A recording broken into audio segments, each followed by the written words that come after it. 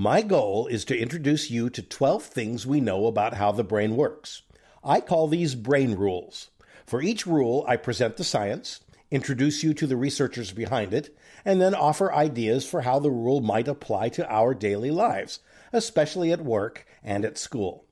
The brain is complex, and I am taking only slivers of information from each subject, not comprehensive, but, I hope, accessible. Here is a sampling of the ideas you'll encounter. We are not used to sitting at a desk for eight hours a day.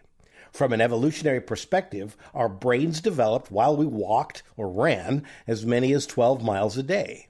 The brain still craves this experience. That's why exercise boosts brain power brain rule number two, in sedentary populations like our own.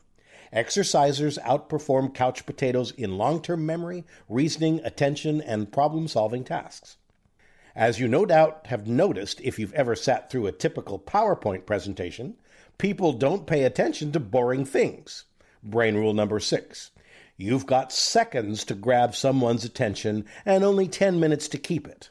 At 9 minutes and 59 seconds, you must do something to regain attention and restart the clock. Something emotional, something relevant. Also, the brain needs a break. That's why I use stories in this book to make many of my points. Ever feel tired about 3 o'clock in the afternoon? That's because your brain really wants to take a nap. You might be more productive if you did. In one study, a 26 minute nap improved NASA pilots' performance by 34%. And whether you get enough rest at night affects your mental agility the next day. Sleep well, think well. Brain rule number three. We'll meet a man who can remember everything he reads after seeing the words just once. Most of us do more forgetting than remembering, of course, and that's why we must repeat to remember. Brain rule number seven. When you understand the brain's rules for memory, you'll see why I want to destroy the notion of homework. We'll find out why the terrible twos only look like active rebellion, but actually are a child's powerful urge to explore. Babies may not have a lot of knowledge about the world, but they know a whole lot about how to get it. We are powerful and natural explorers.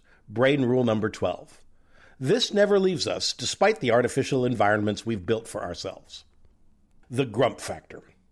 I am a nice guy, but I am a grumpy scientist. For a study to appear in this book, it has to pass what some of my clients call MGF, the Medina Grump Factor. That means the supporting research for each of my points must first be published in a peer reviewed journal and then successfully replicated. Many of the studies have been replicated dozens of times. To stay as reader friendly as possible, extensive references are not in this book, but can be found at www.brainrules.net/references. No prescription.